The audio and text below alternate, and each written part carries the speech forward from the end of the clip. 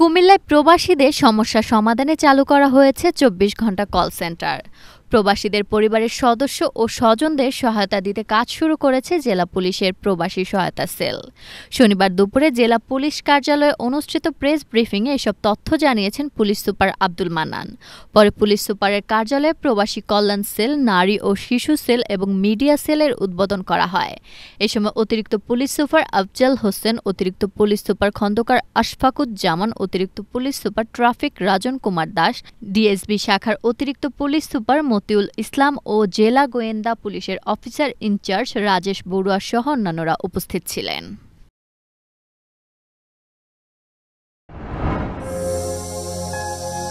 thank you